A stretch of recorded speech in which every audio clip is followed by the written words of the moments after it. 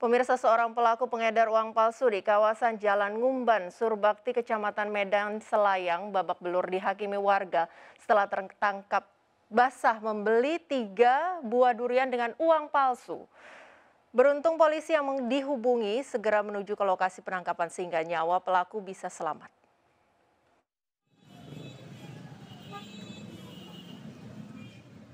Video amatir warga menunjukkan detik-detik saat seorang pelaku pengedar uang palsu menjadi bulan-bulanan warga. Pelaku diketahui merupakan warga Kecamatan Medan Selayang ini kedapatan tengah membeli tiga buah durian dengan menggunakan uang palsu. Modusnya pelaku berpura-pura membeli dengan uang palsu dan berharap mendapatkan kembalian uang asli. Tertangkapnya pelaku berawal saat pelaku membeli tiga buah durian dengan uang palsu. Namun pada saat pembayaran, korban merasa curiga dengan uang yang diberikan pelaku.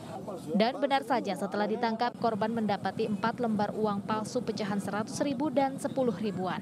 Melihat kejadian tersebut, warga sekitar langsung emosi dan menghakimi pelaku di tempat. Uh, dia beli uh, apa namanya durian, uh, ada tiga biji.